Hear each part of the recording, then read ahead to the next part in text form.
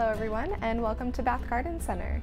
This week is our last houseplant pest series in our videos and we are going to talk about thrips. Thrips are common pests that you will often find in your garden or near your vegetables, but there are no exception to indoor plants as well and your house plants, and also flowering plants like geraniums and roses. So thrips are very, very small, slender, dark brown bugs that will start sucking the sap from the leaves and also the buds of your plants and the stems. They are very hard to see, so you will often find the damage from thrips rather than finding thrips themselves.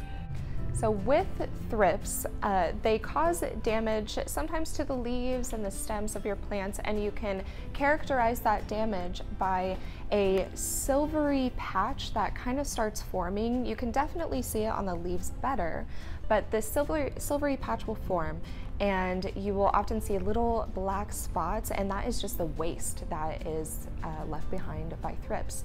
So how are we going to get rid of thrips? Uh, I would first start by cleaning up any debris or crops that are left in your garden. They will thrive in these areas and uh, it helps just to give your garden and even your indoor plants a nice refresh.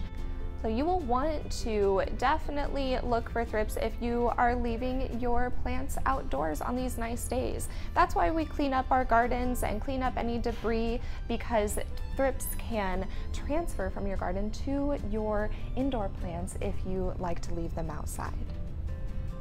Our first part of treatment, we like to recommend Captain Jack's Dead Bug. It really is great for thrips because its active ingredient is spinosad.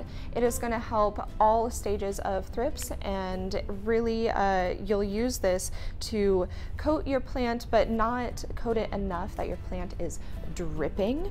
Uh, so just make sure you are spraying the leaves and the stems and also uh, the buds of your plants. That's where thrips like to feed.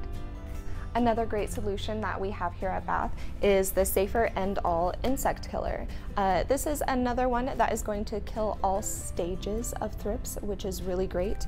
And both uh, the Captain Jack's Dead Bug and the Safer brand here are uh, organic. So you can definitely use them indoors and outdoors on your plants. And lastly, we also have uh, insecticidal soap in many different brands here. With these options, you will want to treat every seven to 10 days or until you start seeing uh, no more damage to your plants or no more thrips uh, infesting your plants. And lastly, we just want to remember if you are bringing anything indoors from your garden or if you're bringing your, your indoor plants back in from outside, to check for pests and also just quarantine those plants uh, just to be safe. Another good thing you can do is also just pre-treat your plants. Pre-treating will give you a peace of mind and will uh, help you with knowing that any potential pests uh, are going to be stopped before they even start infesting any of your other plants. Thank you for watching this week's video. We hope to see you soon here at Bath Garden Center and we hope you have a great day. uh, I'm ready. okay, no, I got this, I got this. Okay. okay. Um, give me a good peace of mind. Oh, dang it, now I already forgot what we were gonna say.